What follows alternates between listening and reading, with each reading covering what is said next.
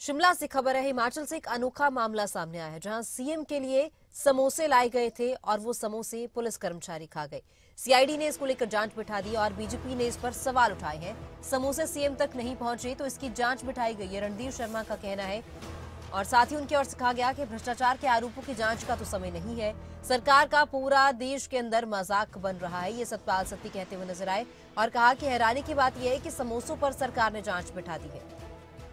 हालाँकि इसको लेकर प्रतिक्रिया भी सामने आ रही है और कांग्रेस की ओर से ये दावा किया जा रहा है कि इस तरह की कोई जाँच नहीं बिठाई गई है, लेकिन बीजेपी लगातार इसको लेकर सवाल उठा रही है। बीजेपी का ये आरोप है कि सरकार जो है, विकास की चिंता करने की बजाय, समोसों की चिंता कर रही है खान पान की चिंता, कांग्रेस को ज़्यादा है विकास की बजाय। तो इसको लेकर लगातार बीजेपी सवाल उठा रही है, लेकिन वाकई ये मामला काफ़ी अनोखा है। अजीबोगरीब मामला हिमाचल प्रदेश से सामने आया, जहाँ एक सम्मेलन में शामिल होने के लिए जब सीएम सुखू पहुँचे थे, उनके लिए केक और समोसे लाए गए थे, लेकिन उन तक वो पहुँचे ही नहीं। उनके सुरक्षा कर्मियों को परोस दिए गए, जिसको लेकर ये पूरा विवाद खड़ा हो गया।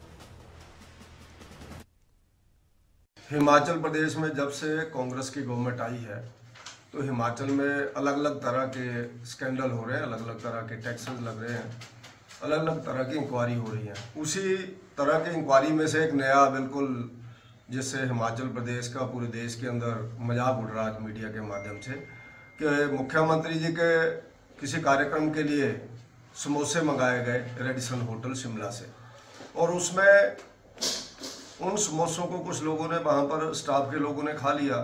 उसके ऊपर इंक्वायरी बिठा दी इस मौसम की। अब इस सरकार को इतने बड़े स्कैंडल हो रहे हैं। मुख्यमंत्री जी को जो ध्यान में रखना चाहिए और प्रदेश के पुलिस के विभाग के अधिकारियों को ध्यान में रखना चाहिए कि जो बड़े स्कैंडल इस प्रदेश में कौन कौन क्या क्या खा रहा है सीएम ऑफ़िस से लेकर के सेक्टर तक।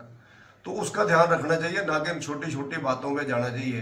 लेकिन उसकी इंक्वायरी की रिपोर्ट मैं देख रहा हूँ जी, मेरे पास पूरी इंक्वायरी की रिपोर्ट है। एक डिप्टी एसपी की इसमें ड्यूटी लगा दी गई। और उसने पूरी इंक्वायरी की, उसने पूरी डिटेल में बताया है। जिस तरह से हिमाचल सरकार के सीआईडी विभाग ने एक बैठक में मुख्यमंत्री महोदय के लिए मंगवाए समोसे, मुख्यमंत्री तक ना पहुँचने की घटना की जाँच करवाई, उससे यह सरकार जनता के बीच हास्य की पात्र बन गई है। इस घटना से हिमाचल प्रदेश के अधिकारियों, कर्मचारियों में तालमेल की कमी और लापरवाही तो उजागर होती ही है, बल्कि अनेक प्रश्न भी खड़े होते हैं। भारतीय जनता पार्टी का मानना है कि हिमाचल प्रदेश के सीआईडी विभाग के पास समोसों की जाँच करने का समय तो है, परंतु मुख्यमंत्री कार्यालय में जो भ्रष्टाचार के आरोप लगे, उसकी जाँच करने का समय नहीं है। हिमाचल प्रदेश सरकार के पास मुख्यमंत्री को समोसे पहुँचाने की या समोसे खिलाने की चिंता तो है, परंतु हिमाचल प्रदेश की जनता को योजनाओं का लाभ मिल रहा है कि नहीं मिल रहा है, इसकी चिंता नहीं।